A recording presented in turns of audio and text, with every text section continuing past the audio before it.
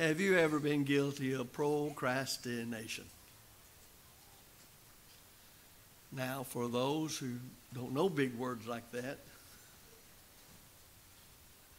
it means putting off something that probably needs to be done, you ought to do, but it's hard, or for some reason you don't want to do it. Very easy to put those things off. And we might be surprised just how that kind of disposition of heart and action handicaps a lot of things. Does so in government, on the job, in school, in families, and certainly when it comes to the Lord's church. In Ecclesiastes 8 and verse 11, we read this regarding evil people in punishment. Because sentence against an evil work is not executed speedily, therefore, the heart of the sons of men is fully set in them to do evil. Now, just think of how that would uh, change things when it comes to criminals in this country and they're being punished for the crimes they've been charged with because they are truly guilty. But if you can postpone and postpone and postpone and postpone, it begins to build up a sense in the evil minded person, because that's the kind of person that does an evil work, they think they can get by with it. And so they aren't too much moved to be that concerned. Now, for those of us who love the truth and want to live according to the truth, and I mean the truth of God's word concerning righteous living, then we may not understand how people can get their minds in that state because the faithful child of God is constantly striving to do what's right as the Bible defines the right. Every day is that way with that person. But there are multitudes of people that don't have that disposition of heart. There are many crooks, thieves, burglars. When they got up this morning, they did not have any planned, some may have, but many did not have any planned store to rob or house to rob or break into or whatever. But they're dishonest and they're creatures of opportunity and they don't mind taking your property or somebody else's. So if they're going down the road and pop, an opportunity to take what does not belong to them comes along, they take it and go. Because a lot of the times they're going to get by with it. They're going to get by with it. So it's important when it comes to whether it's corrective discipline in the family, the church, or the nation, the school, that there be speedy execution of corrective discipline, whatever the crime calls for. Psalm 10 and verse 6 ties in with Ecclesiastes 8 11. He said in his heart, I shall not be moved, for I shall never be in adversity. Can people reach that stage in their thinking? Well, yes, they can. They can never be moved. They don't think it'll ever happen. That's something that's going to happen to other people, but not me. The great prophet Isaiah, 700 years before Christ walked this earth, Isaiah 52 and verse 12, speaking to corrupt Israel, said of their thinking, Come, they say, let us get wine, and let us drink heavily a strong drink. And tomorrow will be like today, only more so. Well, think of how many years ago that was that people were thinking that way, and the nature of man hasn't changed. Thus, there are people that can reach the stage. It's not going to be different tomorrow than it is today. And whatever comes uh, to happen to some, it's not going to happen to me. That's all for you, but not for me. And when we come to Luke chapter 12 in the New Testament, verses 19 and 20, we have the rich, foolish farmer. who had such a bountiful season. He said, And I will say to my soul, Soul, thou hast much goods laid up for many years. Take thine ease, eat, drink, and be merry. But God said unto him, Thou fool, this night thy soul shall be required of thee. Then who shall all these things be which thou hast provided? Then Peter, as with a verse I quote many times, causes us to think how some people think or see how they think. In 2 Peter chapter 3 and verse 9, concerning the promised return of Christ, we learn that the Lord hasn't come back even to this day, and it'll be that the case until he decides to come back, because he's giving people a chance to use time to repent of their sins. So the Lord is not slack concerning his promise, some men count slackness, but is long suffering to usward, not willing that any should perish, but that all should come to repentance. And yet, while he waits and while his long suffering is extended to us, the Bible is replete with material that says sinful men must meet the consequences of their sinful lives. It happened when sin was originally committed by Adam and Eve in the garden. They immediately were separated from God. Their bodies began to die, and they were kicked out of the garden because the garden was meant for sin, sinless people. The whole world felt the impact of sin when people developed on the earth, grew in number. Their mind was only on evil continually, and God said, I'll destroy them off the face of the earth. And so he did, Genesis 6 and 7 in the great Noahic flood. We see Sodom and Gomorrah, the cities of the plain. We see God using Israel and destroying the Canaanites on the land, what we now know as Israel. And so on we go. Why are those things in your Old Testament, since we're under the authority of Christ in the words of the New Testament? Here's exactly why God keeps his promises. If you disobey him, you must suffer the consequences. If you love and obey him, the promises of blessings are yours. You go through the Old Testament, time and time again.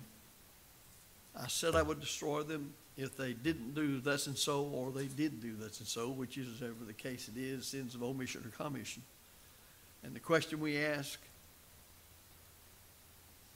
did it follow through with Adam and Eve, what he said would happen when they ate of the, the fruit of the forbidden tree? Yes.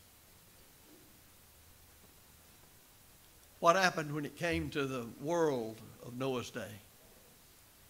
What happened when it came to Sodom and Gomorrah? And so on down the line. God keeps his promises. Whether it's to the wicked, they'll die there'll be punishment. There's no way to transgress God's law and not be punished by it. People don't seem to understand that. You can have a little baby that's crawling and it gets a hold of some sort of wire or whatever that'll conduct electricity. And being the baby that it is, and what babies do, it crawls over and sticks it into an outlet electrical outlet. Because it's a baby and innocent, will it not be shocked? Or worse than that? On the other hand, here's a master electrician and he makes a mistake and touches something he shouldn't. That does happen. The law of electricity says it's not going to make a bit of difference. It's going to shock him just like the baby.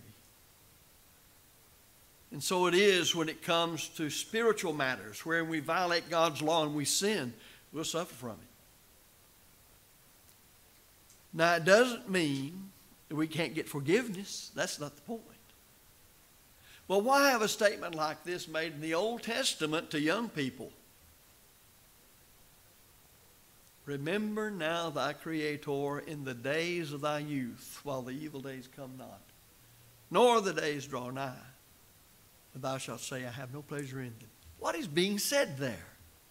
It's just as true today as it was then, and will be to the end of time. Mold your life around doing from the heart God's will always.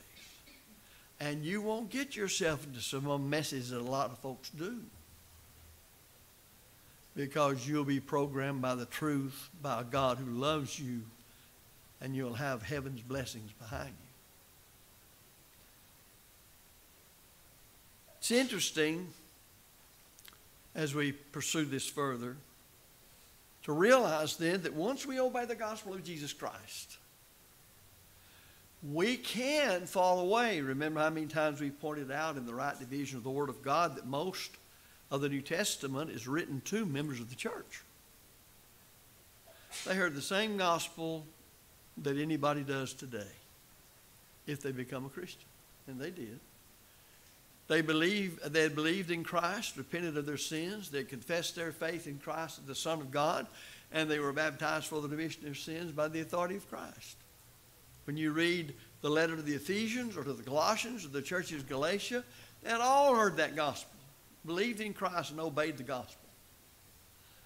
Yet, so those letters in most of the New Testament are written to keep people faithful in the church. And that very matter points out that once you become a saved person, you can fall away from the faith. So I'd like to study just for a little while based upon what we said about a certain church member who forsook the truth of the gospel of Jesus Christ. I say a church member who forsook the truth of the gospel. You know who it is already if you're familiar with the New Testament, because the great apostle Paul mentions Demas. And you know, he only mentions him three times. Few words, but three times. Yet in this small space, we see a once faithful Christian who fell away from the truth. First of all, notice in chapter 4 and verse 14 of Paul's letter to the church in Colossae, as he's mentioning people who are with him and working with him, he mentions Luke, the beloved physician, and he says, and Demas, greet you. We go further, and we're able to emphasize this point. Demas is in the greetings of Paul to the church at Colossae, along with the others who are with him. But then we come to Philemon 24. Learn a little more about Demas and him being with Paul, what he was doing with Paul you find Paul saying, Marcus, Aristarchus, Demas, my fellow laborers. So I know they were working with Paul in the spread and defense of the gospel. So we have more insight into what Demas may have been doing during the same time period. How would you like to be labeled, and correctly so, a fellow worker? With Paul? Well, of course, today, if you love the truth and live it as a faithful Christian, you are a fellow worker with Paul and every other faithful child of God. Demas is mentioned along with two inspired penmen here and another faithful Christian, as previously mentioned. You have Luke and Mark and Aristarchus. Well, Demas is in good company no problem with the kind of encouragement and example he's going to get from these godly brethren. He was with them and worked with them daily. But then we come to the third mentioning of him, and that's Paul to the young preacher Timothy. In 2 Timothy 4.10, he says, For Demas hath forsaken me. And he tells us why, having loved this present world, this present age and is departed unto Thessalonica. Then he mentions that Crescens to Galatia. Titus, another young preacher, to Dalmatia. Well, if we didn't have 2 Timothy 4 and verse 10, we would be left to think Demas ended his life faithful servant of God. But when you take all of what the Bible says about Demas, we see that's just not the case. He sadly ended up being the thorny soil described by Jesus in John, or rather Matthew 13 and verse 12. He let the affairs of this present world as thorns grow up, crowd out his love for the truth. Paul says that he went to Thessalonica. He's a human being, so he thinks like every one of us. He's motivated by the same thing we are. Maybe he started thinking about his home. Things he had to do around the house things that he couldn't do while he was where he was. Maybe he thought, well, I need to be doing secular work. Maybe, maybe he missed that, and maybe he missed the pleasantries that come from being with friends and family. And when you take those things and contrast the, them with the persecutions that accompanied Paul, and he's there, a fellow laborer with Paul, um, that was quite a bit of difference in the life that he could have and what he had.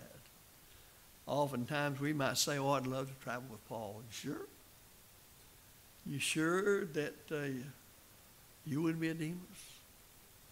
What kind of faith in God through the Word of God do you really have? You don't know sometimes until you put the test. And we can boast great things.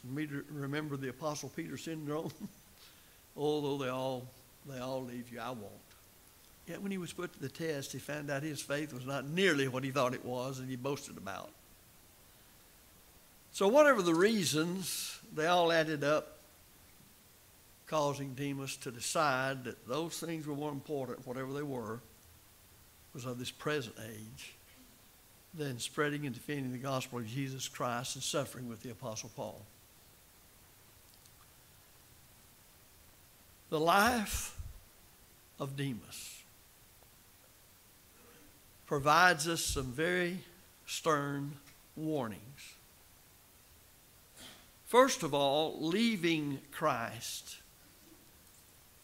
is a gradual thing. A person is not a stalwart, faithful, dedicated, steadfast soldier of the cross of Christ, active in every good thing that God would have a member of his church to be involved. It comes about gradually. I think we can safely say that the apostasy of Demas was not immediate. In other words, we're saying you're not faithful to God one day and the next day you're unfaithful. He had to go through some sort of process of thinking to lead him away from being with Paul and doing that work. Even as he had to undergo some process of thinking to decide to be a part of that work. And I do know from Paul's dealing with Mark that First of all, he wasn't apt to take somebody he didn't think would stick with him through thick and thin because he didn't want to take Mark on the second missionary journey because he'd left him on the first. He wanted somebody could count on. So, by the very fact Demas was with him, said he must have thought he could count on him. He could depend upon him to stick with them as they underwent all the things they had to in the persecution for preaching the truth.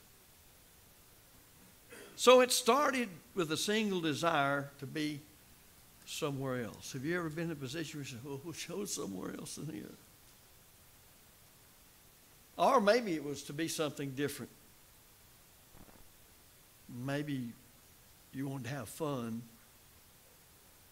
I don't know what people think along those lines. I do know the writer of Hebrews talks about enjoying the pleasures of sin for a season. So there's pleasure in sin. How would Satan get you to transgress God's law if it didn't appeal to your fleshly desires and make you happy and all that? So, for this reason, we must pay much closer attention. I'm using terminology of the book of Hebrews now. Lest after we've heard, we let those things slip by drifting away. Hebrews 2, verse 1. So apostasy is gradual. The first step away from the truth is the step on which all other departures of the truth is built. And thus, whatever chink we see in our armor, no matter in human judgment how little it may be, that's just the way that Satan gets through the armor to where he can take our spiritual lives. There's always something trying to capture our attention.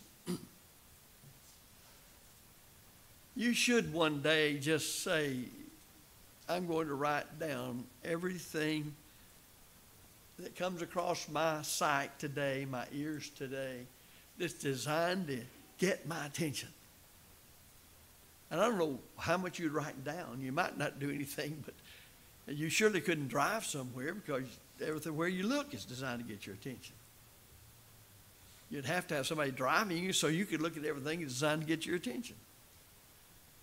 And my, if you think about television, internet, everybody all around you, all the stuff that's designed to say, here I am, and usually buy me. And when you buy me, though you spend money, but when you buy me, you'll save money. And I always wait, except the money it took for me to buy you. It's always something like that, but eh, it's not so bad to try to get people, if you're in business, to buy whatever tool you have. If you really believe it's worthwhile, people have to have things to live by. But I'm talking about things that are designed to get your attention, to lead you away from the most important thing in your life, and that is living like the New Testament says. There has to be some resolve on your part that says, yes, that appeals to me, but I haven't got time for that. I'm too busy serving Christ in whatever particulars that might be. So there are many things in this world that are contending for uh, the top list in our priority list. And you know who knows that better than we, though it shouldn't be that way? And that's the devil himself. I promise you, he knows full well we cannot serve God in riches. Luke 16, 13. And he's going to do all this with his power and how powerful he is to get us to put God in second place. God will not take second place. Nobody's going to heaven that puts God in second place. Nobody. Though working and taking care of our homes, which involves our families, we have to put God first. I know better how to love my wife because I studied the Bible. And so it is with a wife toward a husband, and parents toward children, and children toward one another, their parents. If they'll listen to God. Who created us? God. Who created marriage and the home for the good of man? God. Who tells us to raise our children the nurture and admonition of the Lord? God who says, I will call all accountable people into judgment before the judgment seat of Christ when this life is over and the world's done? God. Sounds like we ought to listen to him with the intent to obey him.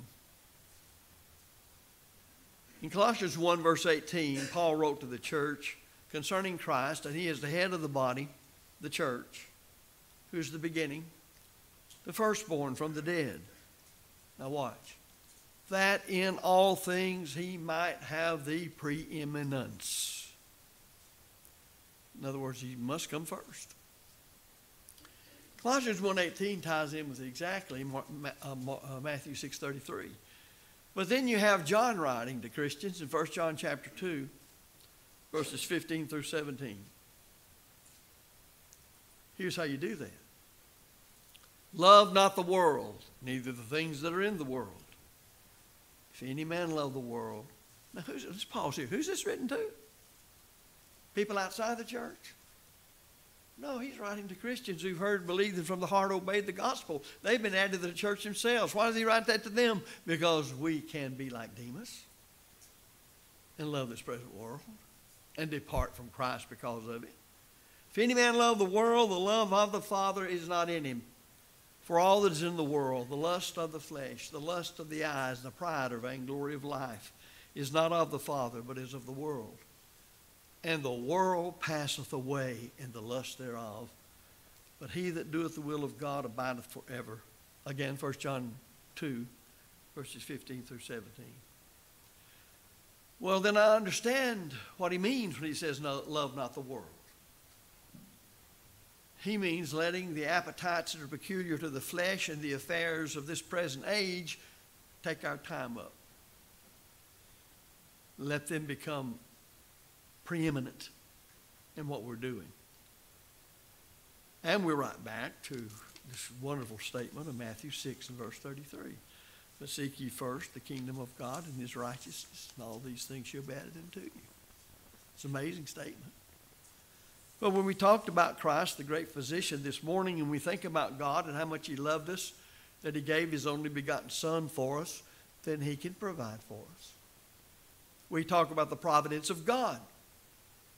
That means God provides for us. He promises us, Jesus makes us a promise. You put me first in thought, word, and action, and I'll take care of you. Now, please understand that does not mean everything I want He's going to give me. Because Americans don't know the difference for the most part in what I want and what I need. But He does promise you the needs will be taken care of. And we most time at that point say, I just don't see how that works.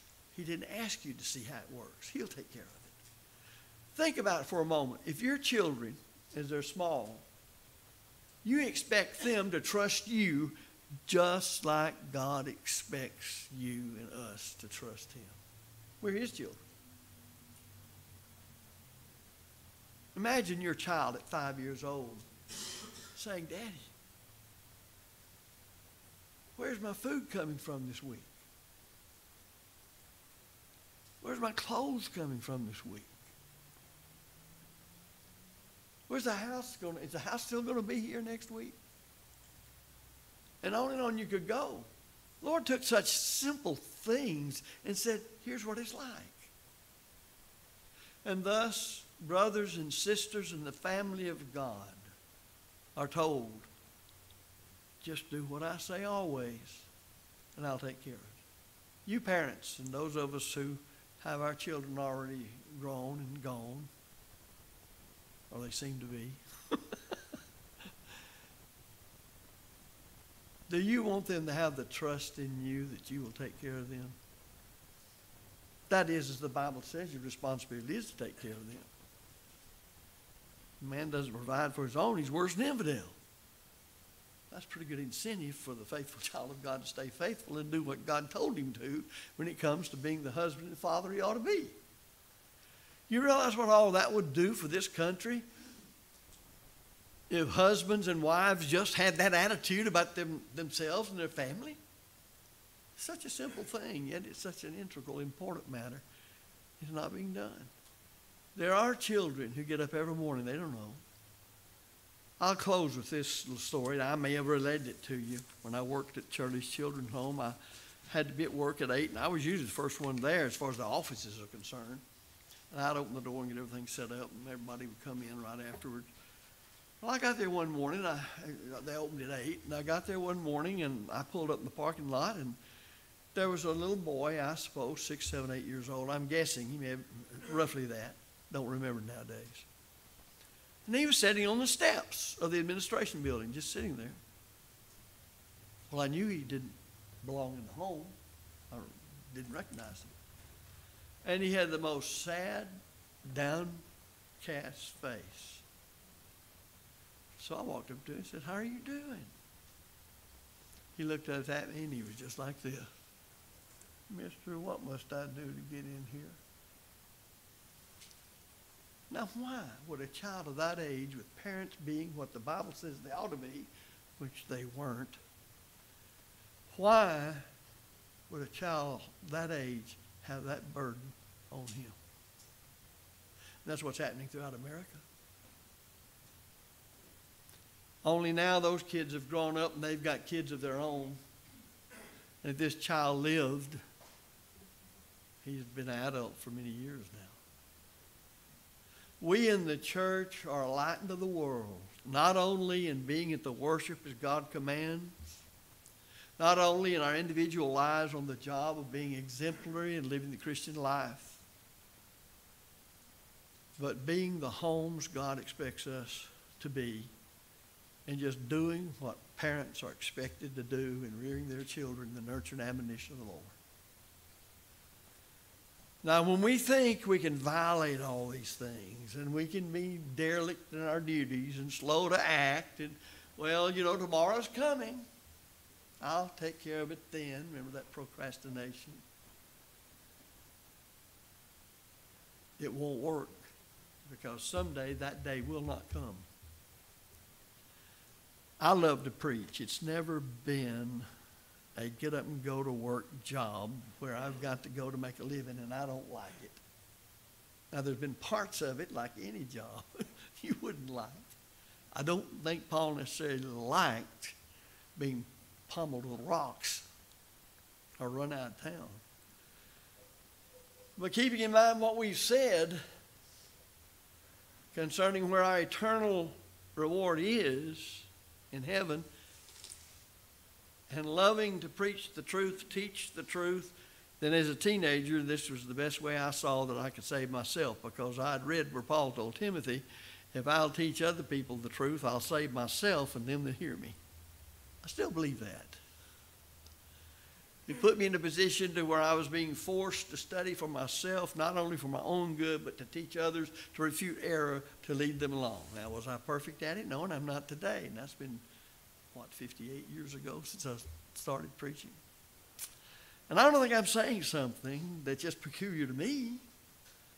I think that's true of any faithful preacher of the gospel or any elder or deacon or any truly faithful member of the church as the Bible defines it.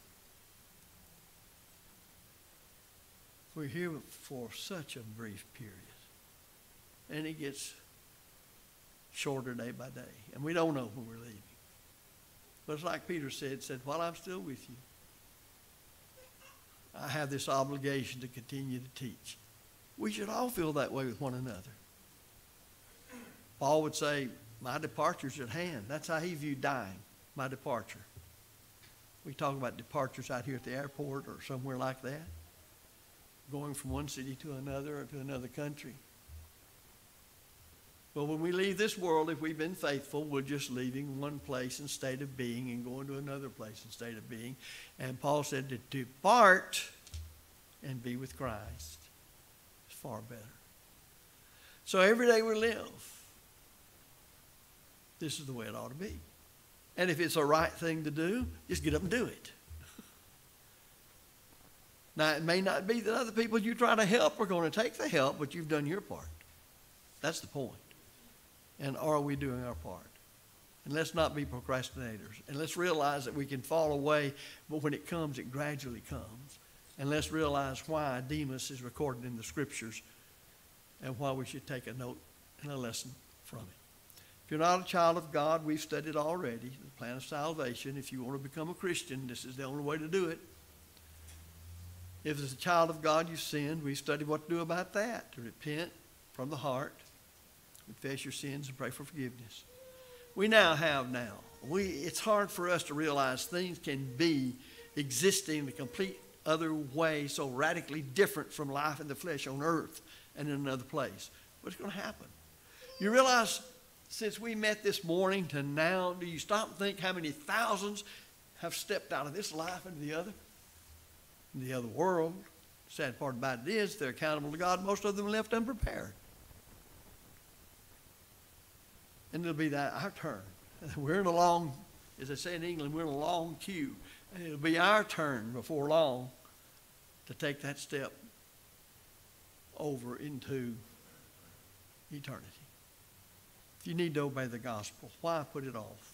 Why not do it now? All together we stand and while we sing.